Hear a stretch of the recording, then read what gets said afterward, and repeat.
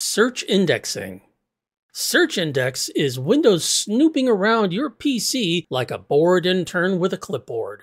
It digs through every file, every folder, every corner of your hard drive, all day long, just so it can say, hey, I found that file for you 0.2 seconds faster. Meanwhile, your system is over here sweating, your disk is pegged at 100%, and Windows Search still can't find half the stuff you type unless you spell it absolutely perfectly. So let's calm this thing down before it wears out your SSD. First, turn off search history. Click on Start, then Settings and Privacy and Security.